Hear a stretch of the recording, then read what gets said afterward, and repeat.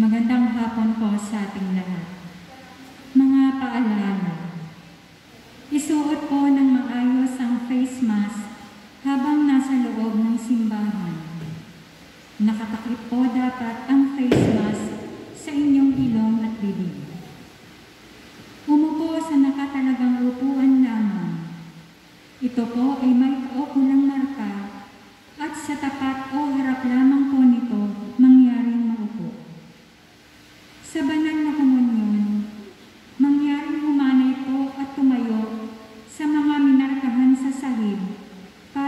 Physical distancing.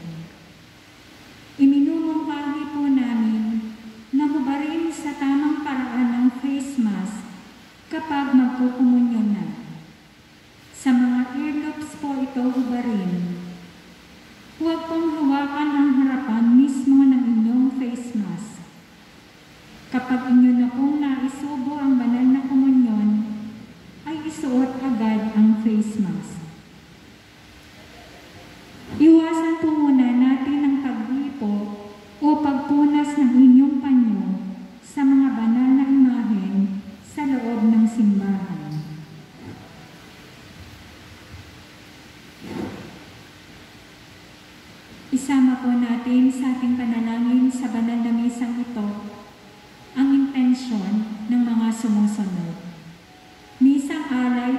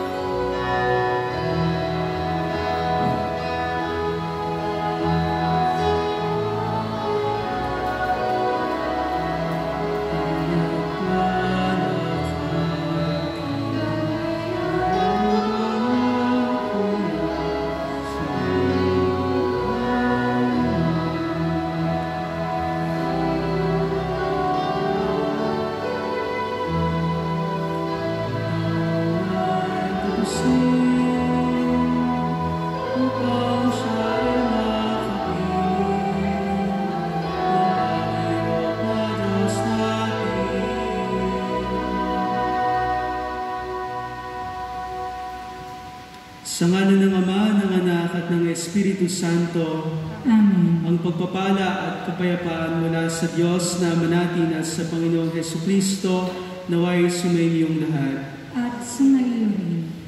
Mga kapatid, aminin natin ang ating mga kasalanan upang tayo maging marapat sa pagdiriwang ng banal na paghahaing nagdudulot ng kapatawaran ng may kapal.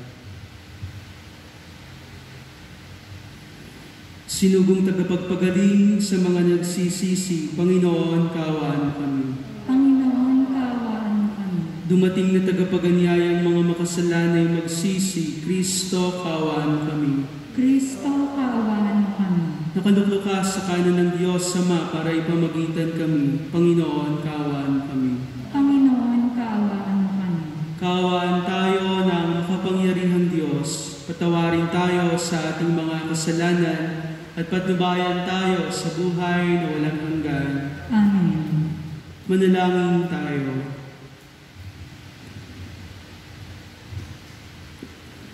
Ama naming makapangyarihan, kaming iyong mga kinupkop ay niloob mong maging mga anak sa liwanag mong kaloob. Huwag mong ipahintulot na sa katiwalian kami ay masangkot. Panatilihin mo kaming nagliliwanag sa iyong katapatang lubos na sumisikat sa pamagitan ng Yesu Kristo kasama ng Espiritu Santo magpasawalang hanggan. Amen.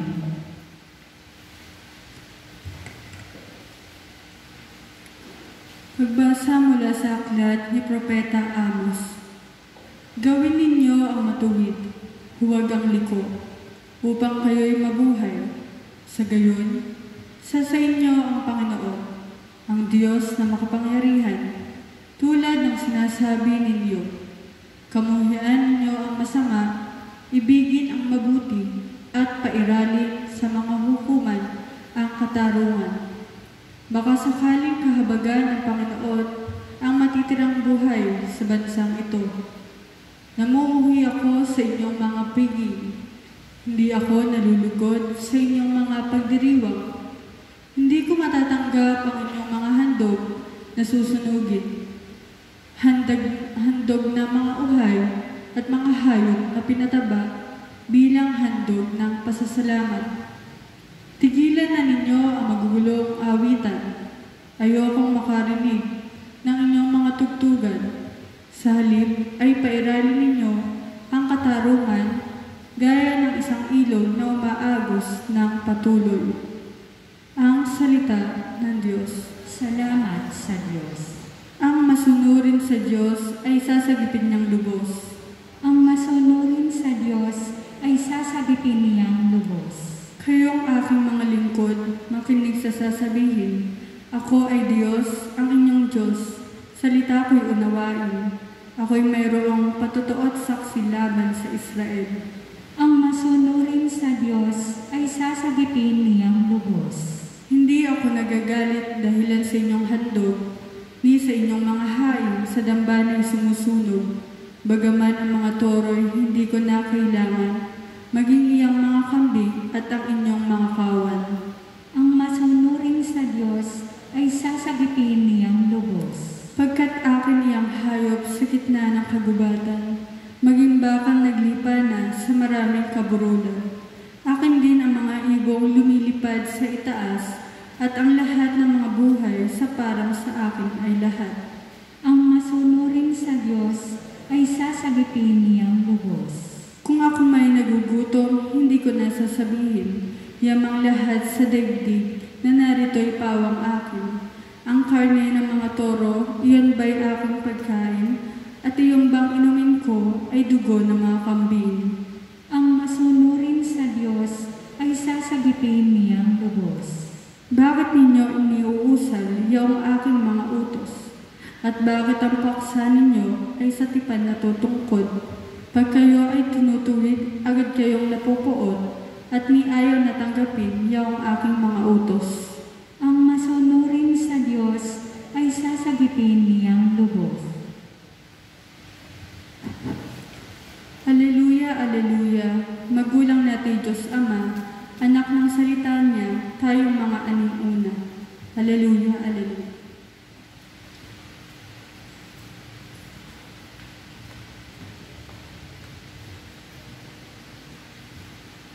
Sumainyo ang Panginoon. At sumayin. Ang mabuting balita ng Panginoon ayon kay San Mateo. Papuri sa iyo, Panginoon.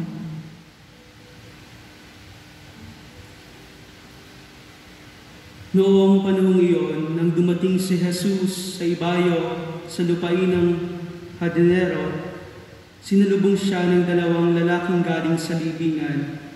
Sila inaalihan ng mga demonyo at napakababangis kaya't walang manghas dumaan doon. Pagdakay sumigaw sila, Ano ang pakialam mo sa amin, anak ng Diyos? Naparito ka ba upang pahirapan kami ng hindi pa panahon? Sa di kalayuan ay may malaking kawa ng baboy na nanginginain at namanhig sa kanya ang mga demonyo. Kung kami palalayasin mo, bayaan mo kaming pumasok sa mga baboy na iyon. Sinabi ni Jesus, Humayo kayo. Kaya't lumabas sila sa dalawang lalaki at pumasok sa mga baboy. Ang buong kawan ay biglang sumibad ng takbo tungo sa bangin, nahulog sa lawa at nalunod. Patakbong umuwi ng bayan ng mga tagapag-alaga ng kawan at pagdating doon ay pinamalita ang lahat ng bagay, pati ang nangyari sa mga inalihan ng demonyo. Kaya't lumabas ang buong bayan upang salubungin si Jesus. Pagkakita sa kanya, ipinamanhik nilang siya'y umalis sa kanilang lupain. Ang mabuting balita ng Panginoon. Pinupuri ka namin, Panginoong Heso Kristo. Magandang hapon po sa inyong lahat. The value of human life, halaga ng buhay ng tao. Marahil maraming nags- nagsus- nagsasabi or sinusugod sa atin ang panukala na patungkol sa mga batas na sinasabi na papahalaga sa buhay ng tao. Pero naniniwala naman na napapahayag din sa abortion, sa euthanasia, or even mercy killing.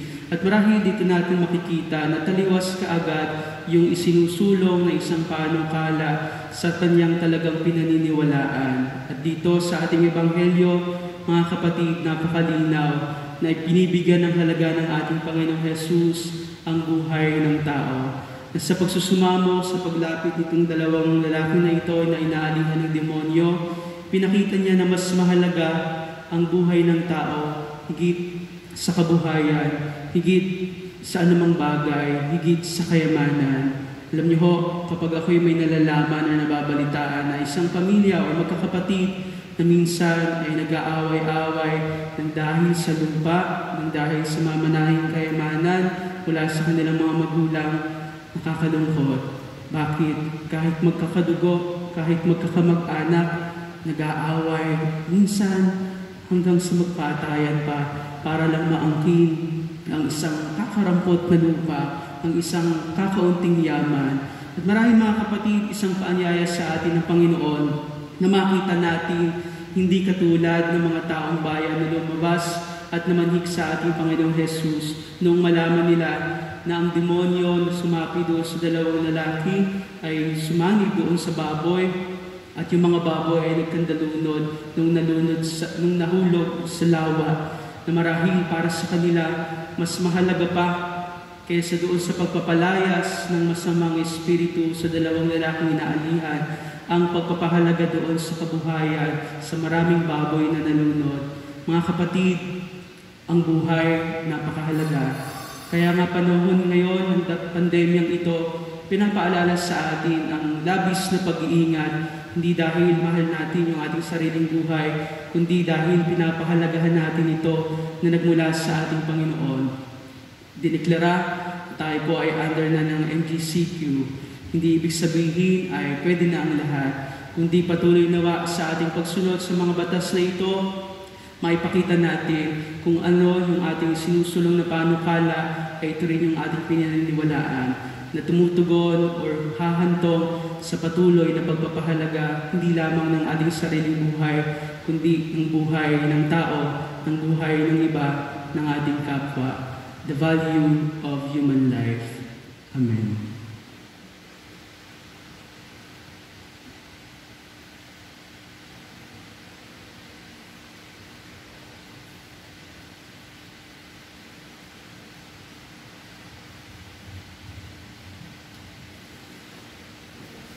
Oratio Imperata laban sa paglaganap ng COVID-19. Diyos, sama namin lumalapit kami sa iyo para sa aming kahilingan na kami ay iyong proteksyonan laban sa COVID-19 na kumitil na ng maraming buhay at nakaapekto na sa sangkatauhan. Nananalangin kami para sa iyong biyaya, para sa mga taong inatasan na pag-aralan ang kalikasan at ang sanhi ng virus na ito. Gayun din upang mapahinto ang patuloy nitong paglaganap Gabayan mo po ang mga inatasang mga laga sa kalusugan na kanila nawang magampanan ang kanilang tungkulin ng buong husay at may malasakit. Gabayan mo po ang mga kawani ng pamahalaan at ang mga nasa pribadong institusyon sa kanilang paghahanap ng lunas upang masugpo ang epidemyang ito. Pinapanalangin namin ang lahat ng mga naapektuhan. Nawa ay hilumin mo po ang kanilang karamdaman Ipagkaloob po nawa sa amin ang iyong biyaya upang kami ay patuloy na makagawa ng kabutihan para sa lahat at makatulaw sa lahat ng mga nangangailangan. Pinapanalangin po namin ito sa pamagitan ng aming Panginoong Heso Kristo ngayong anak na nabubuhay at nagahari kasama ng Espiritu Santo magpasawalang hanggan. Amen. Maria, aming ina at tulong ng mga Kristiyano, Ipanalangin mo kami. San Rafael Arcangel, Ipanalangin mo kami. San Roque, Ipanalangin mo kami. San Lorenzo Ruiz, Ipanalangin mo kami. San Pedro Calusor, Ipanalangin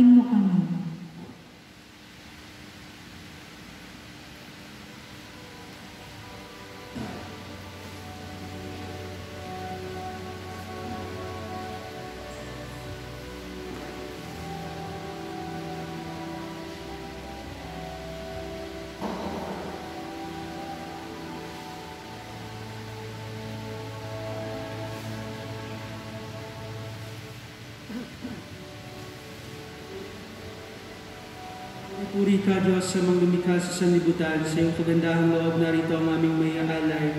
Mula sa lupa at bunga ng aming paggawa, ang pinapay na ito para maging pagkain nagbibigay buhay. Kapuri-puri ang poong may kapal,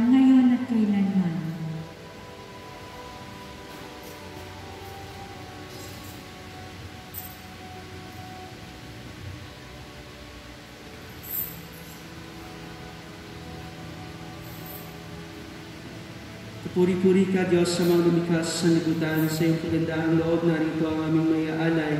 Mula sa katas ng ubas at bunga ng aming paggawa. Ang alak na ito para maging inuming nagbibigay ng iyong Espiritu. Kapuri-puri ang poong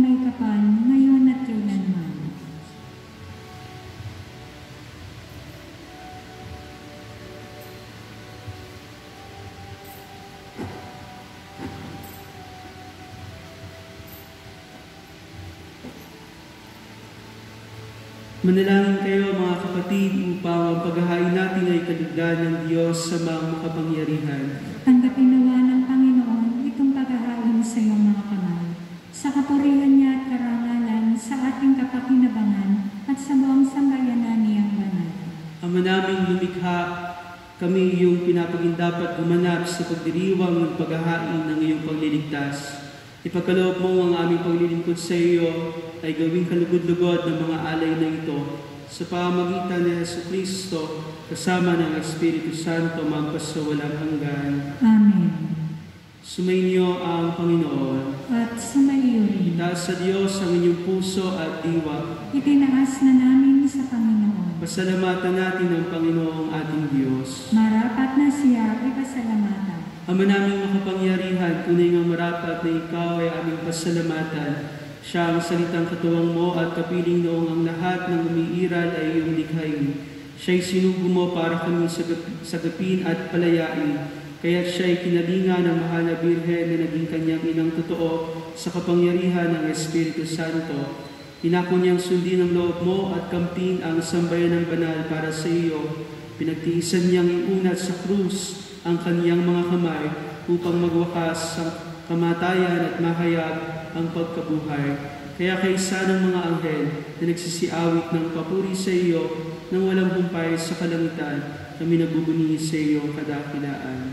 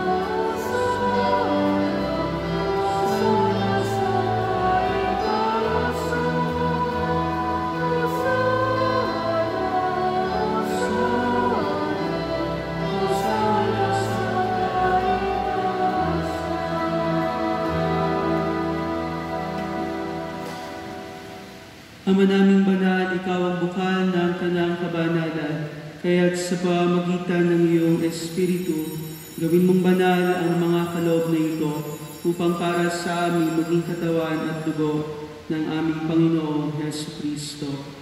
Bago niya pinagtiis ang pusang loob na maging handog, hinawakan niya ang tinapay, pinasalamatan kaniya, pinaghati-hati niya iyon, iniabot sa kaniyang mga alagad at sinabi, Tanggapin ninyo ang lahat ito at kanin.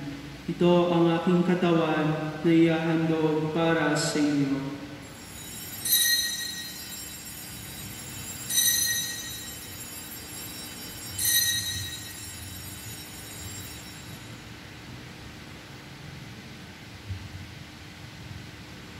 Gayun din naman noong matapos ang hapunan, hinawakan niya ang kalis. Muli kaniyang pinasalamatan, inibot niya ang kalis sa kaniyang mga alagad at sinabi, Tanggapin ninyong lahat ito at inumin. Ito ang kalis ng aking dugo, ng bago at walang hanggang tipan. Ang aking dugo na ibubuhos para sa inyo at para sa lahat, sa ikapagpapatawad ng mga kasalanan. Gawin ninyo ito sa pag-alala sa akin.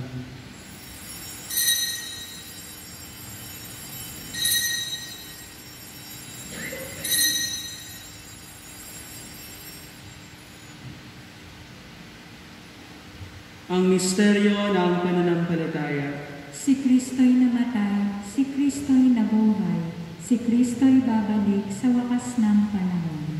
Ama, ginagawa namin ngayon ang pag-alala sa pagkamatay at muling pagkabuhay ng iyong anak. Kaya tiniaali namin sa iyo ang tinapay na nagbibigay buhay at ang kalis na nagkakaloob ng kaligtasan.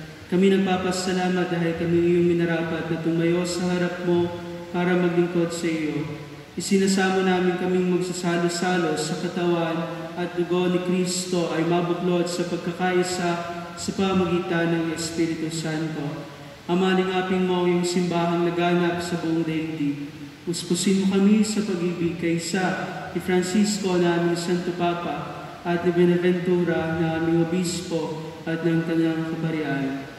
Alalahanin mo rin ang mga kapatid namin na hanlay nang may pag-asa na sila'y muling mabubuhay kay hindi ng lahat ng mga pumanaw. Kawaan mo sila at patuloyin sa iyong kaliwanagan. Kawaan mo at pagitapatin kaming lahat na makasalo sa iyong buhay na walang wakas. Kaysa ng mahal na Birheng Maria na ina ng Diyos. Ni San Jose ng kaniyang kabiyak ng puso, kaysa ng mga apostol, ni San Santiago at ang lahat ng mga banal na namuhay dito sa daigdig ng kalugod-lugod sa iyo, may pagdiwang nawa namin ang pagpupuri sa ikararangal mo sa pamagitan ng iyong anak na aming Panginoong Heso Kristo.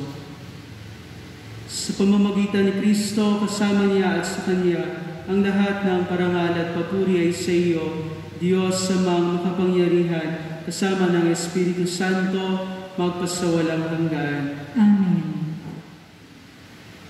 Sa tagubilin na nakagagaling na utos sa turo ni Jesus na Panginoon natin at Diyos, ipahayag natin ang lakas loob.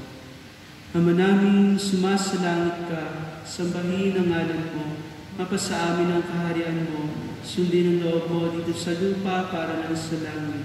Bigyan mo kami ngayon ng aming kakanin sa araw-araw. Patawarin mo kami sa aming mga sala, para na ang pagpapatawad namin sa nagkakasala sa amin.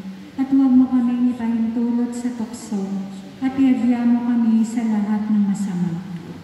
Hinihiling namin kami adya sa lahat ng masama, kapalooban ng kapayapaan araw-araw, iligtas sa kasalanan at ilayo sa lahat ng kapahamakan, samantalang aming pinananabikan ang dakilang araw ng pagpapahayag ng tagapagligtas namin sa Yeso Kristo.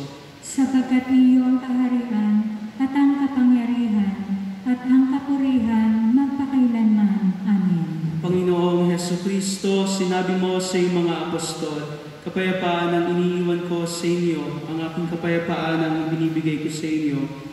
Tunghayan mo ang aming pananampalataya at huwag ang aming mga pagkakasala. Pagkalooban mo kami ng kapayapaan at pagkakaisa ayon sa iyong kalooban, kasama ng Espiritu Santo magpasawalang hanggan. Amen. Ang kapayapaan ng Panginoon ay laging sumainyo. At sumaiyo rin. Magbigayan kayo ng kapayapaan sa isa't isa.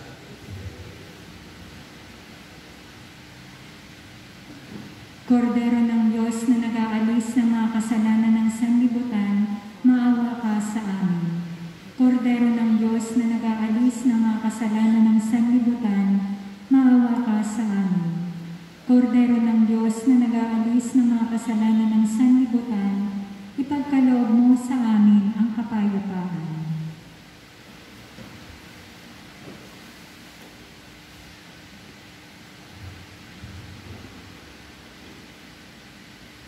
Mga kapatid, ito ang ating Panginoong Jesus, ang bukal ng buhay. Siya ang kordero ng Diyos na nag-aalis ng mga kasalanan ng sanlibutan.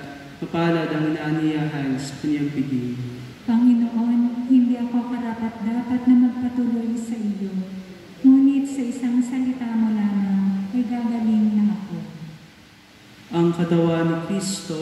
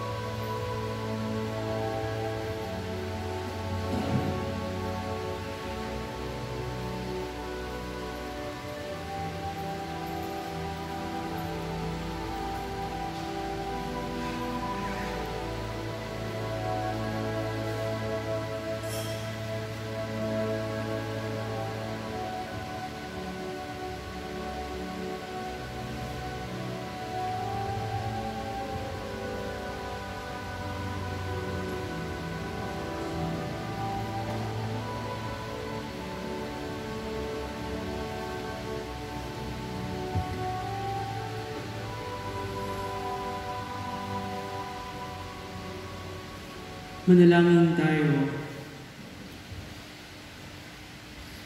Ama naming mapagmahal, buhayin nawa kami ng aming inihain at pinagsaluhan upang kaming pinagbuklod sa pag-ibig mo kailanman ay magkaroon ng bungang lagi naming mayaalay sa pamagitan ni Yeso Kristo kasama ng Espiritu Santo magpasawalang hanggan. Amen. Ating dasalin ang spiritual communion para sa ating mga kapatid na hindi nakatanggap ng banal na komunyon na nakabahagi sa ating banal na pagdiriwang sa kanilang tahanan. Panginoong Jesus, ako ay naniniwala na ikaw ay nasa kabanal-banalang sakramento. Iniibig kita ng higit sa lahat at hinahangad kong tanggapin ka sa aking kaluluwa sapagkat sa sandaling ito na hindi kita matanggap sa sakramento, tumuloy ka sa espiritu ng aking puso. Niyayakap kita na para bang naririto ka at iniaalay ko ng buo ang aking sarili sa iyo. Huwag mong hayaan na mawalay ako sa iyo. Amen. Sumainyo ang Panginoon At sumaiyo. at naway pagpalain kayong lahat at ang iyong buong pamilya ng makapangyarihan at mapagmahal na Diyos Ama, Anak at Espiritu Santo. Amen. Ang misa'y naialay na, humayo kayo at pangalagaan ang inyong buhay. Salamat sa Diyos.